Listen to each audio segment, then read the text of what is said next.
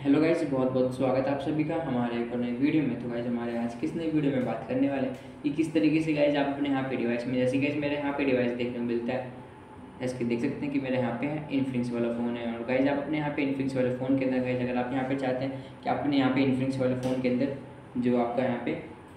App लोग guys उसका password forget करना चाहते हैं सिंपली गाइज़ उसका पासवर्ड फॉरगेट कैसे कर पाएँगे, मैं आपको वीडियो में बताने वाला हूँ।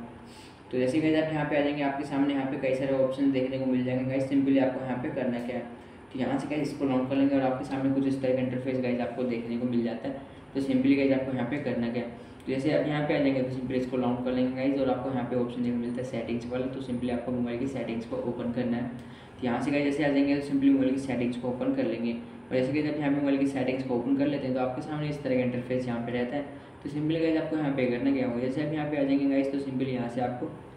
स्क्रॉल डाउन कर लेना है।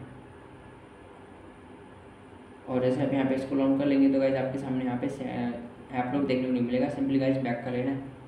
और आपको यहाँ पे आप लोग को पासवर्ड फॉरगेट करना है तो फॉरगेट कैसे करेंगे?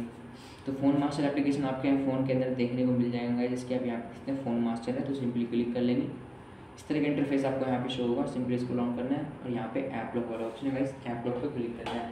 तो अगर आप यहाँ पे पासवर्ड को फॉरगेट करना चाहते हैं अगर आप यहाँ पे पासवर्ड यहाँ पे फॉरगेट करना चाहते हैं इसको फॉरगेट कैसे करना है तो यहाँ पे फॉरगेट पासवर्ड वाला ऑप्शन है इस क्लिक कर देना है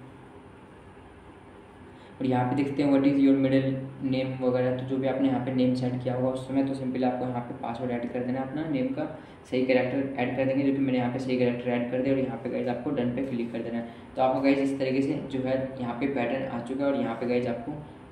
एंटर कर देना। आप यहाँ पे इजिली पैटर्न लोग को सेट कर सकते हैं और यहाँ पे गाइज़ आपको इजिली करना है, जो भी आप यहाँ पे करना चाहेंगे इजिली आप यहाँ पे कर सकते हैं। तो इजिली आपको यहाँ पे रीसेट हो जाएगा पासवर्ड तो मैं करता हूँ इस वीडियो पसंद आए तो वीडियो को लाइक करें। अगर शेयर पर नहीं तो सब्सक्राइब करना ना भूलें।